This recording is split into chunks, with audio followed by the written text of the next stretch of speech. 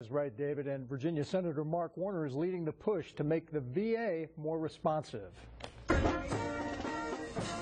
For 45 years, they've thrown a parade for veterans at the Virginia Beach oceanfront. It's a beloved tradition. Another thing vets would love is a more responsive VA system. The department has made strides on patient wait times, but vets tell us they think there's still much room for improvement. Well, you know, in my opinion, it needs a lot of work. But the VA's got a long way to go, yeah, on on uh, meeting its burden.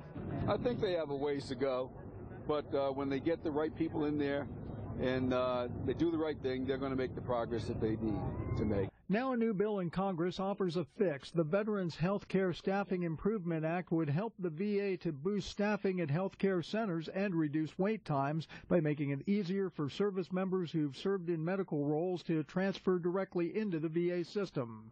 As they leave the military, we make it as easy as possible if they choose to transition into the VA healthcare system.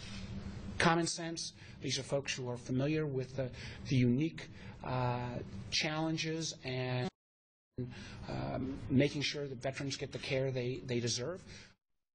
And Warner's bill appears to have solid backing with five Democratic, Democratic and two Republican co-sponsors in the Senate and more than 40 veteran and medical organizations endorsing it. A companion bill is set to be introduced.